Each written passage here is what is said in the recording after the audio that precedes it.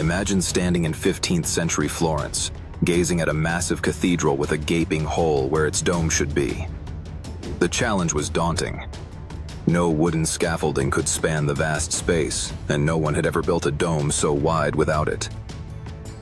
Enter Filippo Brunelleschi, a goldsmith with no formal architectural training, who dared to attempt the impossible. His secret? He designed a double-shell dome using interlocking bricks arranged in a herringbone pattern for exceptional strength and stability. Ingeniously, Brunelleschi invented machines to lift heavy stones and developed a system of horizontal and vertical ribs that distributed weight evenly, preventing collapse. As the dome rose, each brick locked the next into place, forming a self-supporting structure that required no centering wood. Locals watched in awe as the dome took shape above their city, defying conventional wisdom. When completed, it was the largest masonry dome in the world, a breathtaking feat of engineering and artistry.